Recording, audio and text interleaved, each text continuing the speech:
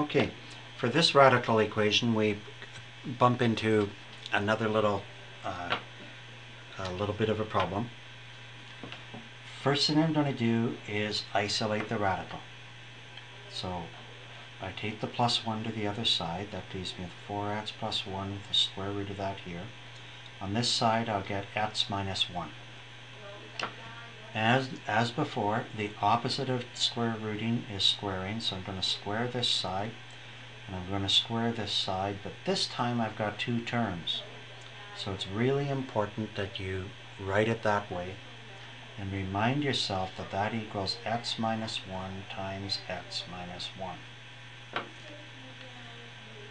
This squaring undoes that square rooting, so the left-hand side works out really nicely. The right-hand side, you are going to have to FOIL out. That times that, that times that, that times that, and you get your little happy face there. Okay, our buddy QWERTY you up. And you end up with x squared minus 1x minus another 1x is minus 2x plus 1. Biggest mistake made is kids will just say x squared plus 1. They'll forget that middle term. Now let's make the left-hand side 0 by taking both of these guys across. So it's x squared minus 2x minus 4x. And plus 1 is here, and the plus 1 becomes a minus 1. So we end up with 0 is x squared minus 6x. These guys cancel.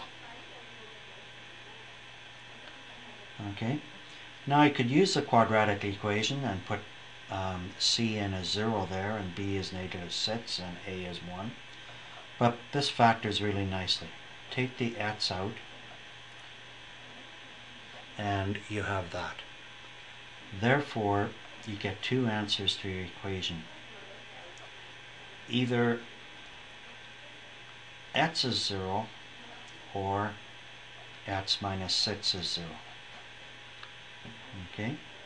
So either x is 0 or when I take the minus 6 to the other side, x equals 6.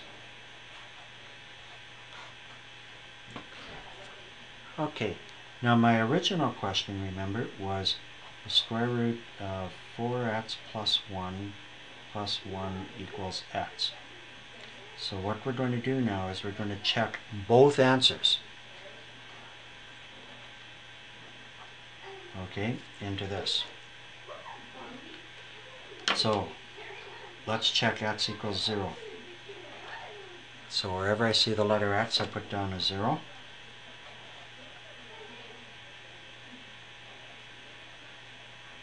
and I'm seeing whether the right hand side equals the left hand side. 4 times 0 is 0, 0 plus 1 is 1, square root of 1 is 1, and 1 plus 1 equals 0. Oh oh, that's a no-no. Okay, 2 does not equal 0. Okay, so that's our extraneous root.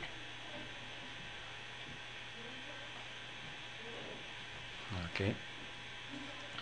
Now if you really want to get picky, there's also another square root of 1, which is negative 1, and negative 1 plus 1 equals 0. So that's sort of why that happens.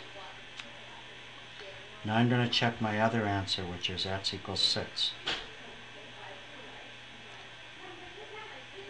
So wherever I see the letter x, I'm going to put down a 6. 4 times 6 is 24 and 1. This is the square root of 25 and does this whole thing equal 6 5 plus 1 equals 6 okay so the left hand side does equal the right hand side therefore we have one answer to this question. Okay? And the only answer to this question that we will accept is x equals 6 the other answer of x equals 0 way up here is we found to be an extraneous root. Okay